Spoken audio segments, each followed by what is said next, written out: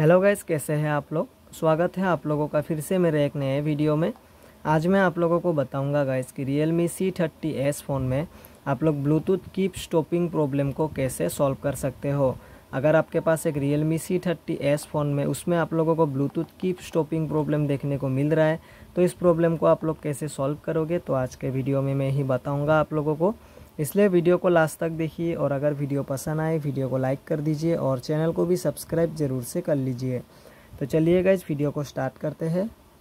Bluetooth keep stopping problem solve करने के लिए आपको सबसे पहले यहाँ पर सेटिंग्स में जाना है। सेटिंग्स में जाने के बाद यहाँ पर आप लोगों को थोड़ा सा नीचे स्क्रॉल डाउन करना है और यहाँ पर एक ऑप्शन देखने को मिलेगा सिस्टम का। तो इस सिस्टम के ऑप्शन पे क्लिक कर देना है। उसके बाद यहाँ पर एक ऑप्शन होगा इस रीसेट का, देख सकते हैं तो इस पर हम क्लिक कर देंगे। रीसेट के ऑप्शन पे क्लिक करते ही रीसेट करने के लिए यहाँ पर बहुत सारे ऑप्शन मिल जाएँगे।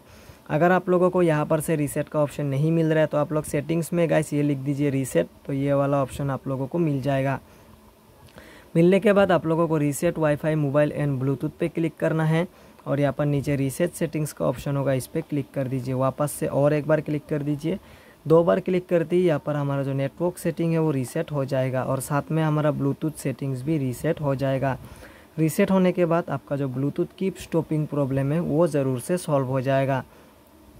उसके बाद आप लोगों को क्या करना है गाइज़ उसके बाद यहाँ पर एक ऐप्स का ऑप्शन होगा तो इस ऐप्स के ऑप्शन पे क्लिक करना है। क्लिक करने के बाद सी ऑल ऐप्स पे क्लिक कर दीजिए। और यहाँ पर से आप लोगों को ब्लूटूथ के ऑप्शन को ढूंढना है तो ब्लूटूथ का ऑप्शन ऐसे ही नहीं मिलेगा गाइज़ आप लोगों को एक सेटिंग करना होगा। उसके लिए आप लोगों को इस थ्री डॉट पे क्लिक करना होगा। क्लिक करने के बाद सो सिस्टम का ऑप्शन है, इस पर क्लिक करना होगा।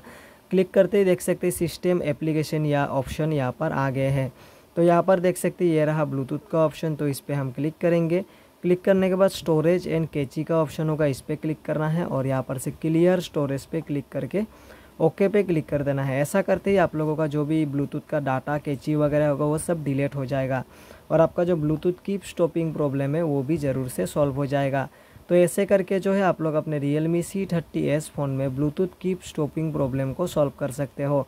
तो कैसा लगा आप लोगों को ये वीडियो? अगर वीडियो पसंद आया हो तो वीडियो को लाइक कर दीजिए और चैनल को सब्सक्राइब ज़रूर से कर लीजिए।